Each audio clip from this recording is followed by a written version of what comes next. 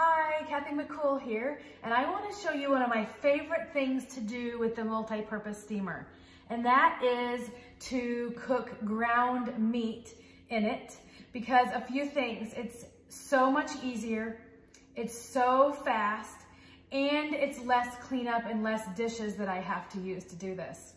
So I also don't have to stand over the stove or get anything hot, and I just put the steamer with the meat in it in my microwave. Now, some neat things about this is the steamer comes with this rack. If you wanna use the rack and put the ground meat on top of it and let the grease sit underneath it, you can do that. What I do is I just put the ground meat in. I just pull this out of my microwave so you can see it, all the steam come out. And I just put the ground meat in here and I cooked it for four minutes. That's it, this is four minutes.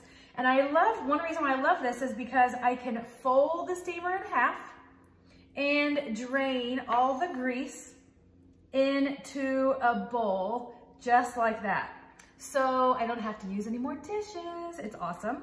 So I drain the grease. This was a pound of ground beef that I'm using to make a skillet meal today, and that's it. And then I use my ground meat separator, which works wonderfully on so many things, including guacamole, mashed potatoes, and I love it for my ground meat. You could do ground turkey, you could do a ground beef, um, any kind of meat in here. And about a pound a pound takes about four minutes depending on your microwave. Have you ever forgotten to thaw meat before? That's me. So you can also do the meat from frozen and just toss it in your steamer and do it for a couple minutes and then break it up a little bit, put it in for another couple minutes, break it up a little bit, put another couple minutes and you're done. You could do ground beef in about six to eight minutes that's from frozen, okay? This was from thawed in four minutes. Look how awesome that is.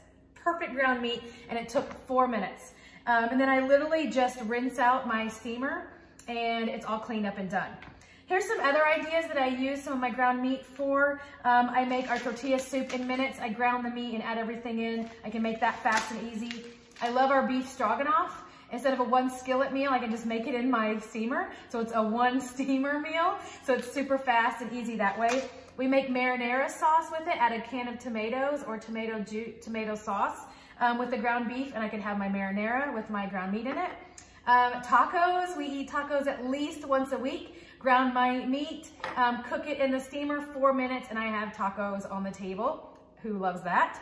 And then of course, one of my favorite seasonings right now is the Tuscan chicken burger. So this is awesome to use and this is seasonal too. So enjoy my little hack on making ground beef the easier, faster, less cleanup way. Um, and I will talk to you soon. Bye.